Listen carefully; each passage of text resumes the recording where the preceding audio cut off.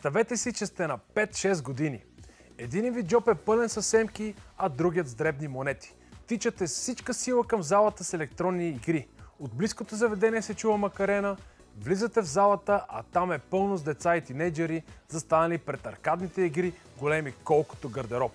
Купувате си жетон и започвате да играете на някоя от по-малките машини, защото още не сте достатъчно високи за големите.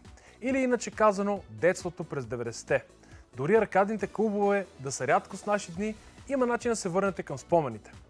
Аз съм Никича, а вие сте с предаването за дигитална култура на Тесния в едно. Днес ще ви покажем как можете да играете класически игри на съвременния си компютър. Гледайте! Многото изобретенията в днешно време са били създадени с съвсем различна цел от това, за което ги използваме. Например, тъчскриновете на телефоните и таблетите преди повече от 50 години са помагали в електроцентралите, за да не се налага работници да се разхождат по 20-метровия контролен панел. Същото се е случило и с изчислителните машини, които днес наричаме компютри. И въпреки, че са част от ежедневната ни работа, благодарение на тях можем и да се забавляваме. Ето откъде е тръгнало всичко. Реално идеята да се използва компютъра за игране на игри идва от това, че дори най-базовите компютри са имали някаква изчислителна мощ. И хората са сметнали, че могат да използват тази изчислителна мощ за чисто и просто да покажат някакви дори супер елементарни обекти, че се движат. И оттам е дошла идеята, че те могат да направят не просто нещо, което смята, ами някаква игра. Такива първи опити още в края на 50-те години са се случвали, но реално към края на 70-те са вече реализирани такива игри. Казвали се аркадни игри. Това са, може би, сте виждали едни огромни такива машини с ръчки, с копчета. Тяхната основа е реално една огромна платка, която е почти колкото един телевизор в момента в наши дни, на която е имало само една единствена игра. Цялата памет е била заета само с една игра, като може би първата доста популярна такава игра е Space Invaders или Pac-Man. Това са така първите класики, които са, с които са започнали тази индустрия. Интересен факт, между другото, е, че Space Invaders е и първата игра, която е дала началото на електронните спортове, още 1980 година. Аз съм много голям ценител на електронните спортове и това за мен е един много интересен факт. Играта, може би сте я виждали, там с едно човече стреляте по едни извънземни. Идеята е, че са направили турнир по това, кой най-много точки ще направи на тази игра, като на първия такъв турнир е имало над 10 000 участници и турнира го печели жена. Е, не всеки има един гардероб свободно място в дома си, а ако не сте големи фенове на дадено заглавие, надали ще си струва инвестицията. За щастие, развитието на дигиталните технологии ни е довело до етап, в който дори в джоба си имаме по-мощно изчислително устройство, отколкото е бил и най-мощният компютър по времето на създаването на тези игри. Предвид, че съвременните компютри, дори телефони и всякакви такива мобилни устройства са, да не кажа, стотици хиляди пъти по-мощни от тези аркадни устройства, които са били в края на 80-те и 90-те, не е нужно да имаш нещо специално. Естествено има такива емулатори, които емулират такива устройства, ако конкретно искаш да ги играеш на компютъра, но не е толкова автентично усещането, примерно ако не използваш или някакъв джойстик или някакъв контролер. Има и други альтернативи, между другото, предвид, че тогава, както казах, една игра е била една огромна касета, ако мога да я нарека, докато сега в едно, примерно, толкова малко устройство можеш да събереш всички игри от а, 20 години, примерно. Имат хора, които са разработили различни такива пак подобни на аркадните стикове, но просто една малка конзола, която има същите ръчки и копчета като онези едно време, но също време в себе си съдържа примерно 2000 игри и това се включва към телевизор или към монитор и играеш всичките тези игри. Е много компактно и много удобно.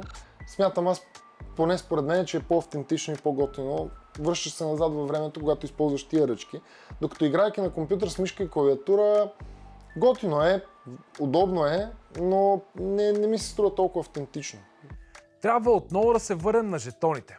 Сумата от 10 или 20 стотинки може да ви се струва малка, но в тези времена не беше така. Всеки жетон ти даваше по един кредит, което означава, че когато умреш, играта свършва и за да играеш отново трябва да пуснеш нов жетон. Пикселите, които летяха по екраните, бяха най-опасното нещо в детството. Всяка игра беше на живот и смърт. Сега, ако си пуснете някоя игра на компютъра, ограниченията от към кредити го няма и чувството, че сте безсмъртни и най-сетне ще може да превъртите играта от вашето детство, хич не е за изпускане.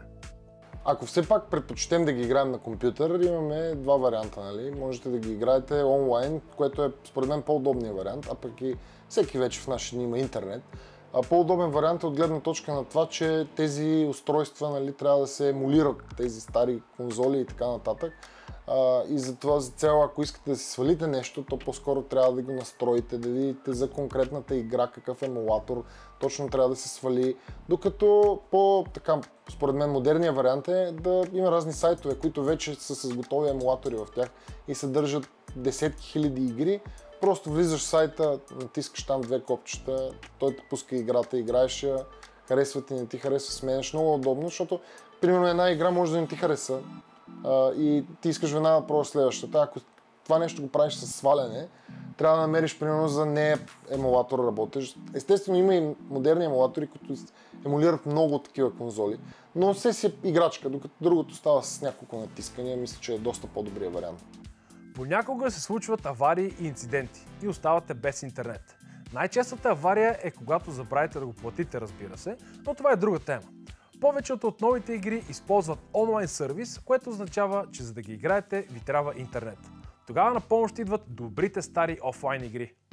Ако все пак изберете да играете офлайн, има бонус това нещо. Това е, че вие ще си запазите, примерно ще си имате някаква колекция от някакви игри. Да, би би било по-трудно естествено да настроите нещата, но пък един път настроите ли ги, те си остават и ще може да си играете игрите дори може да си занесете някъде, ако го сложите на лаптоп, примерно, докато пътувате някъде, тъй като повечето модерни игри изискват постоянна свързаност с интернет, докато тези игри никога не са имали нужда от интернет. И е удобно да си ги имаш, примерно, свалени и да си цъкаш някъде в движение. За съжаление, няма как да пуснете която и да е било игра директно. За да можете да играете, ви е нужен софтуер, наречен емулатор. Може да звучи малко сложно в началото, но всъщност е лесно. Веднъж като го сложите, ще можете да си добавяте хиляди игри. Ето точно какво представляват емулаторите. Емулатора прави нещо като симулация за, на компютъра или на лаптопа или на дори мобилното устройство, смисъл и на телефони и таблети. Те могат да си играят а, такива игри. Прави нещо като симулация на тази конзола, на която е било пуснато, тъй като през 80-те и 90-те е имало много конкуренти от много различни фирми, които са произвеждали различни конзоли и те са си имали традиционни за тези конзоли игри, които са можели да работят само и единствено на тези конзоли. Както и в наши дни има 2-3 бранда, които правят най-големите игри за конзоли. И съответно един такъв емулатор симулира тази среда, в която се играе тази игра и по този начин можете да я пускате. Разбира се, може да използвате емулаторите напълно безплатно. Ето и как става това. Има много сайтове в интернет с огромни колекции. От една страна на игри, които можеш автоматично да играеш в сайта. От друга страна има сайтове с огромни архиви на ромове, на такива различни игрички. Ромове, между другото, е, понеже самите игри едно време са били на дискети, примерно. Това е нещо като копие на тази дискета, само че във формата на файл, който може да пуснем на компютъра. И съответно всичките тези файлове могат да се пуснат през този емулатор, за който обясних, и да се, и да се играят. И по този начин можеш да си направиш лична колекция от една страна, от друга страна, ако не ти се занимава, има сайтове, в които можеш да ги играеш онлайн. За игрите, които сте избрали, са ви необходими съответните емулатори. След като се спрете на конкретен емулатор от списъка и го изтеглите, трябва да екстрактнете файловете в папка по ваш избор. След това емулаторът е готов за ползване, но вашата библиотека от игри ще бъде празна. За да я запълните, трябва да намерите игри, които съответстват на вашия емулатор. Тук е важно да изтеглите всички файлове с името на играта, за да може да я стартирате. Не е нужно да ги разархивирате, само трябва да ги поставите в папка ROMS, която се намира в директорията на вашия емулатор. Стартирате го, избирате игра и сте готови. От десетилетия видеоигрите са забавление и начин да се съравновавате с другите хора. Ако се чудите за някое заглавие, което трябва да пробвате, ето нашите предложения. За мен в детството беше изключително удоволствие да играя с Супер Марио. Сигурен съм, че много от зрителите е така доста емблематична игра. Тя между другото стана на 35 години съвсем скоро, даже има разни обновления и така нататък, точно в повод на това, че е на толкова години и толкова много а, семейства и хора е заребила, защото наистина е много, много популярна. Между другото, тя тръгва, в самия образ на Супер Марио, тръгва в Donkey Kong поредицата, което е съвсем различна игра по тип а, и тя там се вдъхновяват разработчиците от визията на самото геройче. Той още тогава, когато е в Donkey Kong, тъй като отделна игра, е просто се, се го наричали човечето, което скача или на английски The Jumpman.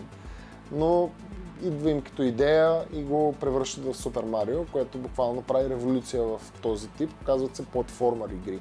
Игри, в които просто едно човече върви и подскача и преминава през различни препятствия. Но това е моята игра.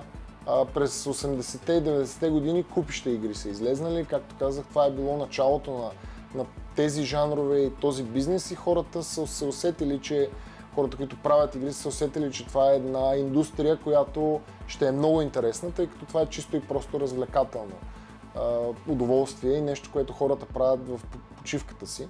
И започват да правят много игри, да има много конкуренция, има много популярни заглавия, както казах в началото, Space Invaders, Pac-Man, Други интересни заглавия, които може да играете, са поредицата за тралежа Sonic. Ако искате да премерите сили с някой приятел, файтинг игрите могат да са наистина забавни, например Street Fighter или King of Fighters.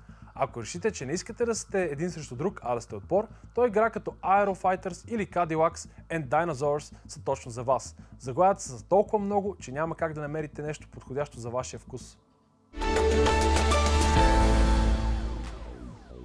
Това, че дадена игра е на 40 или 50 години, не означава, че не си заслужава да се играе.